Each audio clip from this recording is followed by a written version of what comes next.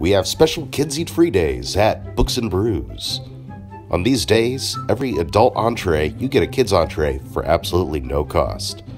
We have delicious options such as our kids' grilled cheese with aged cheddar, our pizza pettigrew, our kids' ham and cheese.